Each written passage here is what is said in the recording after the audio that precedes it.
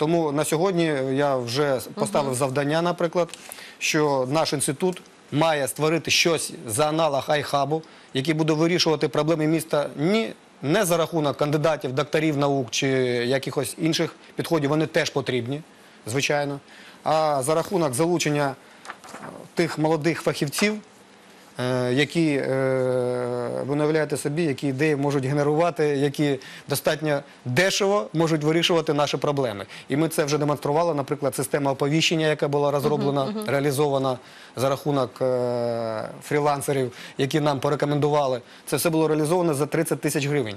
Е, а сьогодні ми отримуємо купу. Е, е, Хто нас хвалить і каже, молодці, що ви це зробили. Так, дякую вам, Геннадію. Будемо з вами зустрічатися. До зустрічі. Будемо говорити про такі проекти, бо насправді вони є дуже важливими. Геннадій Пліз, перший заступник голови Київської міської державної адміністрації, був гостем цієї частини.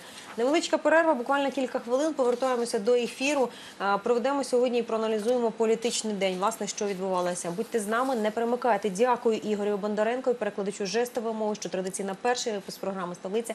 Він працює разом зі мною. Будьте з нами і не перемикайтесь. Дякую.